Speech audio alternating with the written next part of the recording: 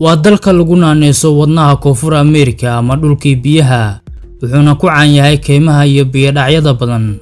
Waa dal xiran oo xad la wadaagaa saddex dal oo laba ka mid a yihiin kuwa ugu dhulka weyn qaaradda koonfur ameerika. Waa muuqaal ka hadlaya xogo ku saabsan dalka sida rasmiga ah loo yidhaahdo jamhuuriyadda baragway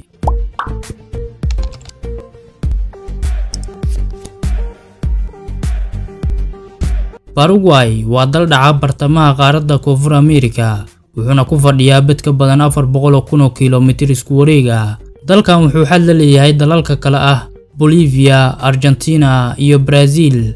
Baragway iyo bolivia waa labada dal ee keliya ee xiran ee badda aan lahayn islamarkaana dhacaan qaaradda koonfur ameerika. Balse labadan dal waxay leeyihiin ciidanka badda ee ugu ballaaran marka la eego dalalka xiran dhanka kale xadka baragway argentina iyo brazil waa mid ka mid a xadadka ugu cajiibsan oo waa midkan idiin muuqda ee saddex geesoodka ah waxaana ku kulmaan labada webi ee kale ah igwazu iyo barana sidoo kale baragway iyo brazil waxay wadaagaan biyo-xireenka ugu weyn koonfur ameerika ee korontada laga dhaliyo.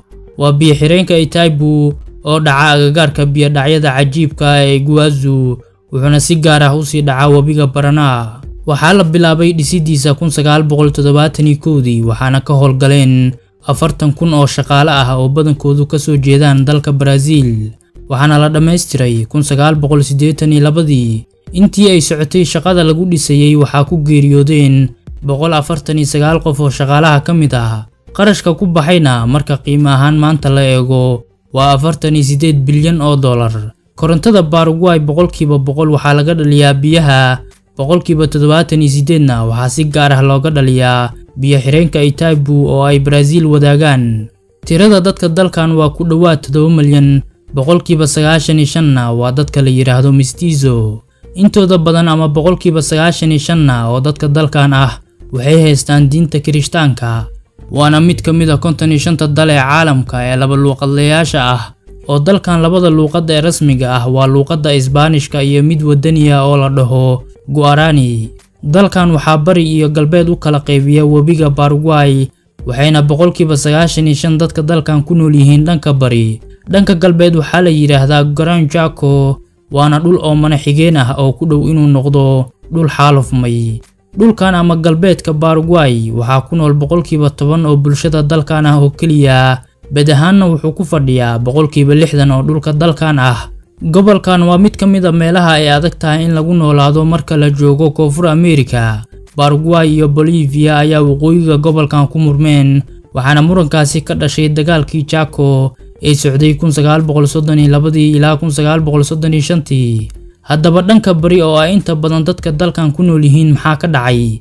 Mid ka mid a dagaaladii ugu xumaa ee ka dhacay koonfur ameerika ayaa dalkan ka dhacay waana dagaalkii xulafada saddex geesoodka ama the baragwayan war waa dagaal socday kun sideed boqol lixdan iyo afartii ilaa kun sideed boqol iyo toddobaatankii wuxuuna u dhexeeyey baragway oo dhan ah iyo saddex xulafo ahayd oo kale ah argentina uruguay iyo brazil.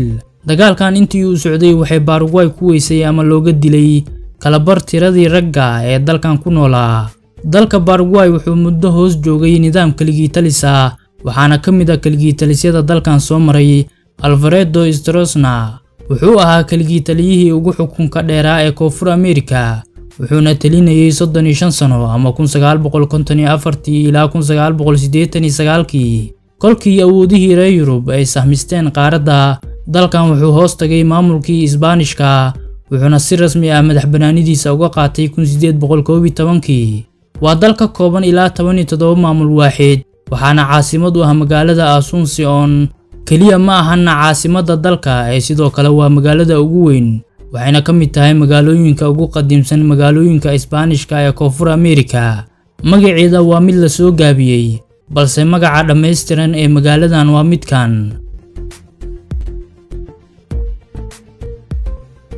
Dhanka isboortiska waxaa dalkan aad looga xiiseeyaa kubadda cagta waxaana ka soo jeeda dalkan hoose louis jelafer waa goolhayo saftay toddoba boqol oo kulan koox iyo xulba asigoo goolhayo ahna wuxuu dhaliyey lixdan iyo toddoba gool waana goolhayaha keliya ee saddexley ama haatiri kulan ka dhaliyey sida ay qaarkiin xasuustaanna dalkan waa kii lagu xiray ronaldinho iyo walaalkiisa kadib markii la qabtay ayagoo ku safraya baasaboor been abuur ah.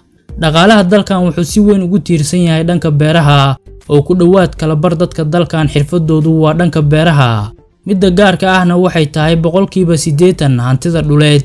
Waxaa iska leh laba dhibic shan boqolkiiba oo dadka dalkan ah oo keliya. Waxaana sidoo kale hantida Paraguay kontaroolaan shakhsiyaad kooban oo aan laba boqol gaarin. Lacagta dalkan waxaa lagu magacaabaa Paraguayan Guarani waxaana halkii doolar lagugu sarifayaa toddoba kun oo lacagta dalkan ah. Ma ahan dal ay u jihaystaan dalxiisayaal badan oo caalami ah. Sidaasi oo ay tahayna waa dal nolol ahaan jaban lehna goobo badan oo dabiici ah haba u badnaadaan biyo dhacyada